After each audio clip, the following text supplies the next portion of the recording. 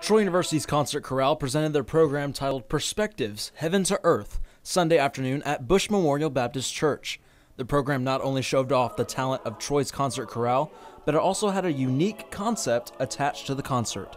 We had basically two pieces with the same name that shared the same names, but one of them would come from the olden days of Renaissance, uh, Baroque, classic music, while the other was more set to modern, and so it was it was like a perspective of the same text but can be applied in two different ways and, and the different emotions that can be applied with the same sacred holy text.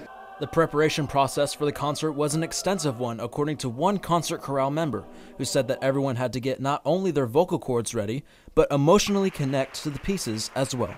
Oh, it was very exhaustive. We started at the first week of school. Um, we practice almost every day. We have sectionals each week. Uh, we basically started very slowly, just doing a couple measures at a time, learning notes, and then once we got about halfway through the semester, we started running things and getting kind of a feel for how the pieces are, and then kind of emotionally connecting to our piece. So that's kind of what brings the performance to life. Oxford High School's concert choir joined the stage to sing with Troy's concert chorale.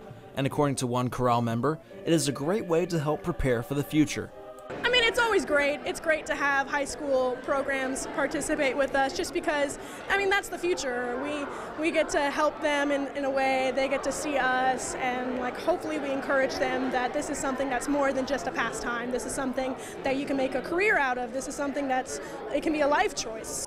Seth Hawk, Troy, Trojan Vision News.